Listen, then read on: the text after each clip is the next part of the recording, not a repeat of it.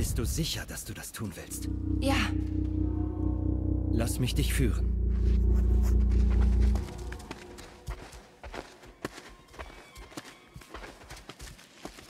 Wir müssen jetzt in den Nebel gehen. Lasst die Schatten nicht in eure Herzen.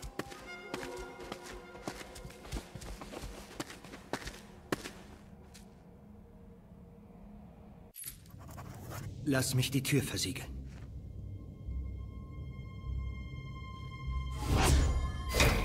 Das sollte uns etwas Zeit verschaffen. Komm, geh neben mir.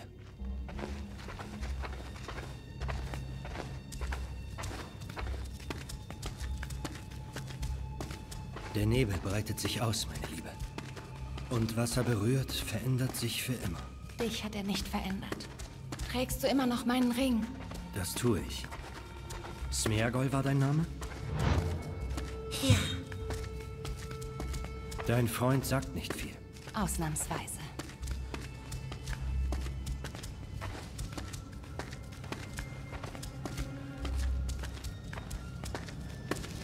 Da sind wir. Geh nicht zu nah an den Brunnen heran.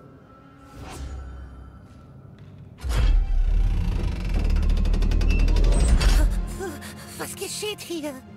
Die ganze Halle schreit. Sie wird auseinandergerissen. Die flammende Kugel über dem Brunnen, gespeist von Wind und Wasser. Das ist die Quelle des Nebels. Was ist unser Plan? Die Quelle zerstören. Nein, ich fürchte, der Nebel ist alles, was diese Halle zusammenhält. Wenn wir irgendwie die Quelle erreichen, könnten wir versuchen, sie zu heilen. Aber der Elb hat gesagt, geh nicht an den Brunnen. Es gibt zwei Windtürme, die den Nebel mit Luft und Musik anfachen. Siehst du die Öffnungen links und rechts? Wenn wir es schaffen, beide Türme stillzulegen, können wir den Nebel vielleicht beruhigen. Das wird aber nicht einfach sein. Wir haben versprochen, den Elben zu helfen, wenn sie uns auch helfen. Ich weiß nicht. Wir haben keine Zeit für Zweifel. Ich kann nicht gehen, das weißt du. Ich bleibe an der Quelle und beruhige sie, solange ich kann. Ihr zwei teilt euch auf und versiegelt die Türme. So sei es. Ich nehme den linken Turm. Dein Freund kann den rechten nehmen. Kann er klettern? Wie eine Spinne. Folge dem Lied des Windes. Ich hab dich gewarnt. Geh nicht in die Nähe des Brunnens. Folge dem Lied des Windes, Smergol, bis du die höchste Kammer erreichst. Dort gibt es ein großes Windtor. Schließe es, um das Lied verstummen zu lassen. Rauf, rauf ganz nach oben. Schließe das Windtor. Pass auf, wo du hintrittst. Der Nebel hat einen Großteil der Türme weggefressen.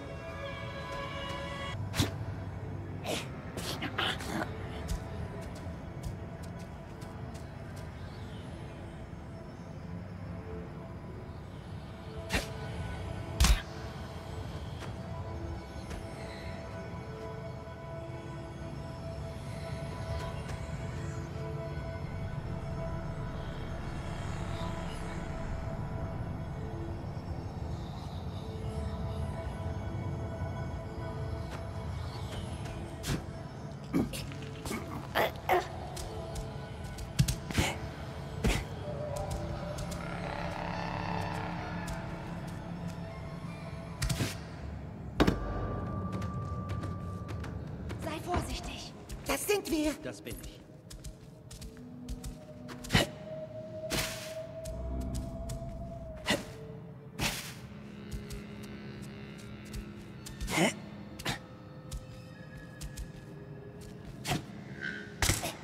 Es ist gefährlich, die Quelle zu heilen, sagte der Elb.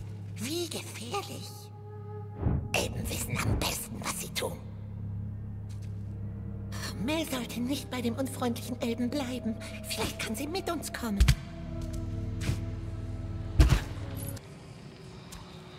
Die Geister aus den Wäldern.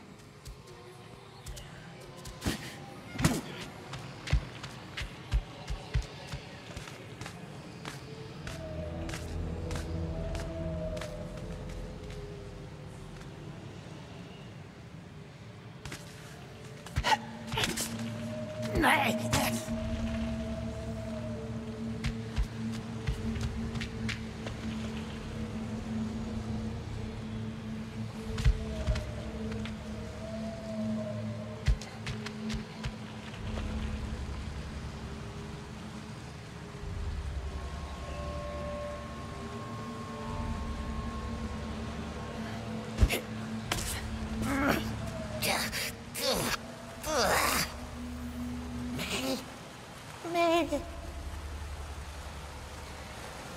Smergol? Tut mir leid, ich habe auf Gwendels Stimme gehört. Was ist los?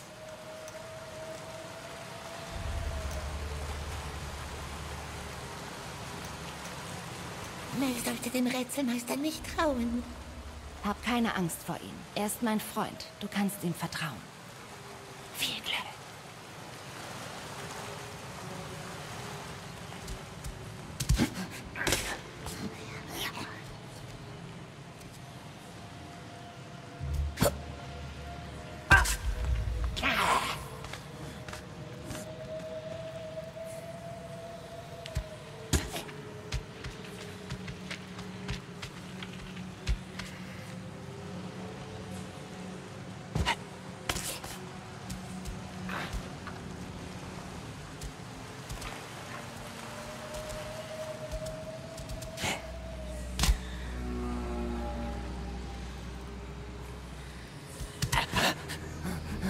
Wir trauen dem anderen Elben nicht, oder?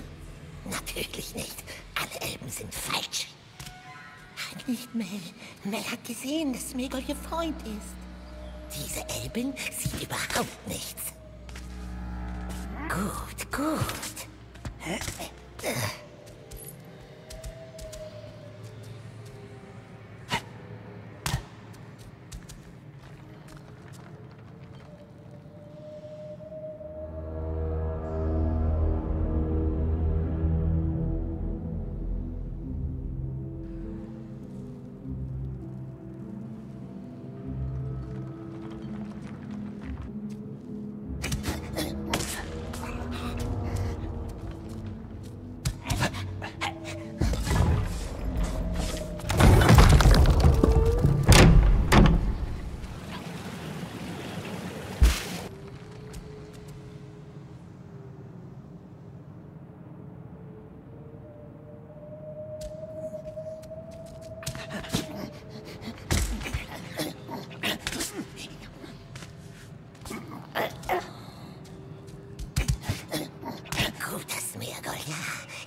den Elben. Und jetzt müssen sie uns gehen lassen. Wird Mel mit uns kommen, mein Schatz? Nein, niemand sonst. Elben können nutzlose Ringe behalten. Hauptsache, wir kriegen unseren. Aber Mel braucht uns, um sie zu führen. Die Blinde hat jetzt ihren Elbenfreund. Und Smergol, er wird allein sein. Immer allein. Außer er findet den Schatz. Niemals! Schatz hat uns immer nur einsam gemacht. Und wie lange, bis der dunkle Herrscher uns findet? Hm? Wie lange, nachdem er unseren Ring hat? Wir müssen ihn finden. Wir müssen ihn finden, bevor er es tut. Und ihn verstecken. Ihn niemals benutzen. Und nie, nie wieder für den Schatz töten. Wir müssen zurückgehen. Wir wollen ihn nie wieder. Wir hassen ihn. Wir hassen ihn. Mel wird uns jetzt beschützen.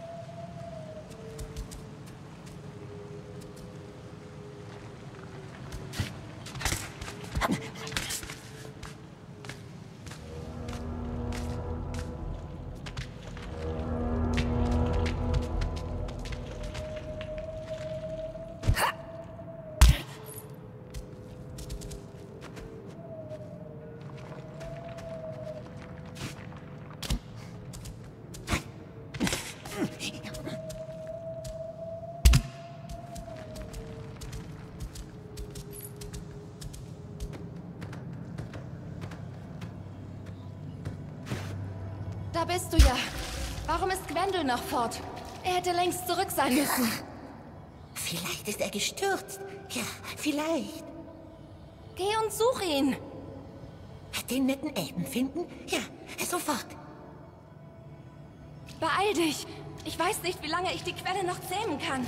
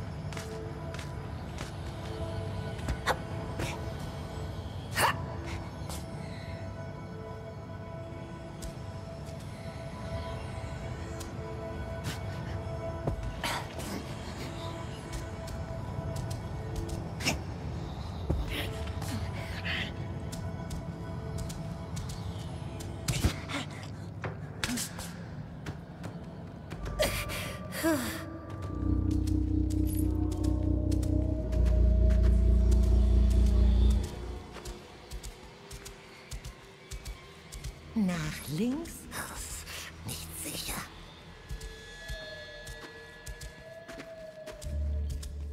Hier lang, Schatz.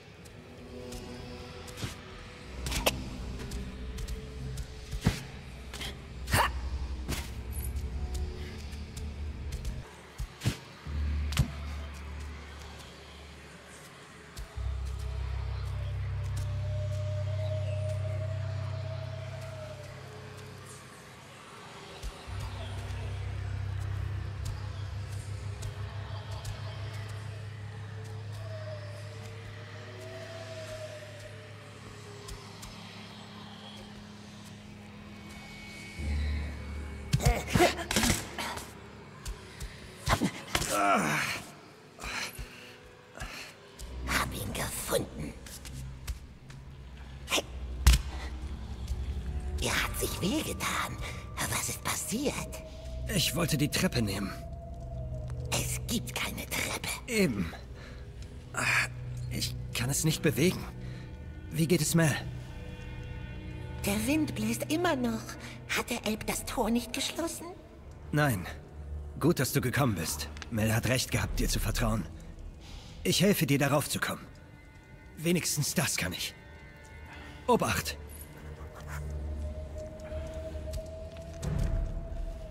Traue deinen Schritten nicht, sonst endest du wie ich.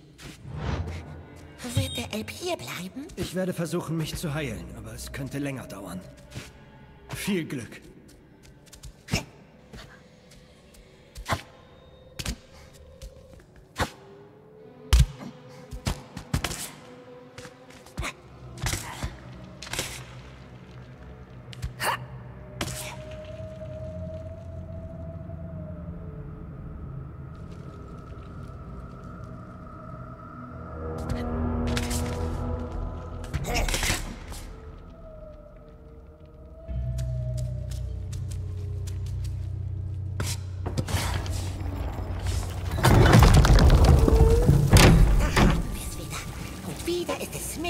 Hilft und nicht dieser Elb.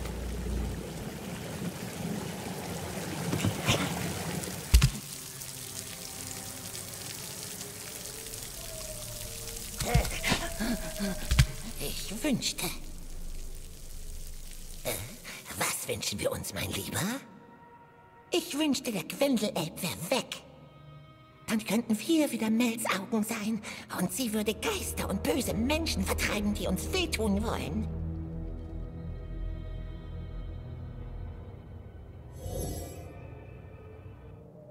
Mel würde auf uns aufpassen.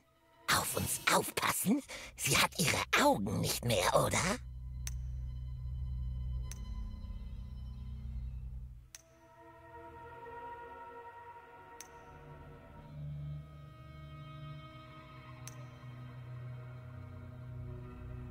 Sie hat den Nebelkreis gemacht. Sein Auge kann uns dahinter nicht finden. Der Kerzenmann schon. Er kam, um Smirgol zu ihm zu holen. Ist doch nicht ganz sicher, oder?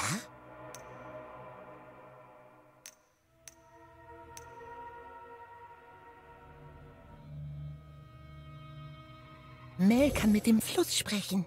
Mit dem Fluss reden, ja? Und was nützt uns das, wenn das große Auge kommt? Nein, nein, vergiss sie alle.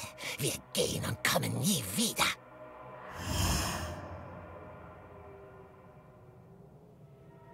Gimbal, such sie! Muss mich beeilen.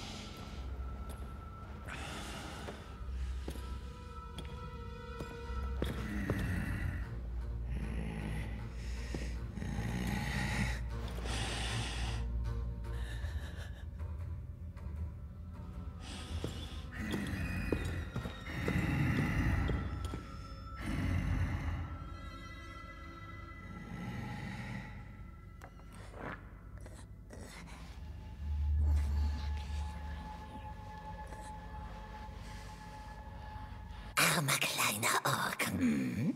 Aber das ist unser Rätselmeister.